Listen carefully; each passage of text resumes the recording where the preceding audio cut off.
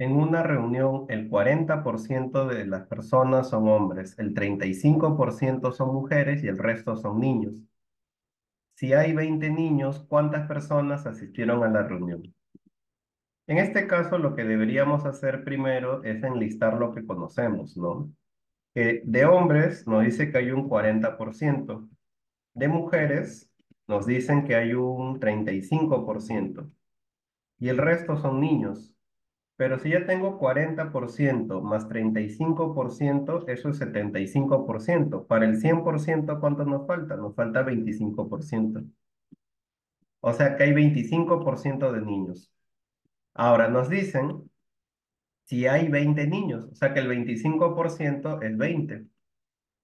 Por lo tanto, nosotros diríamos de esta manera, diríamos, el 25% del total de personas en la reunión es ni, son niños y son un total de 20.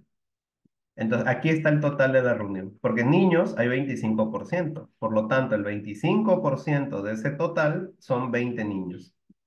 Aquí es una ecuación, podríamos despejar el valor de t y podríamos saber cuánto es el total de personas en la reunión. 25% lo escribimos en su forma de fracción, 25 de cada 100.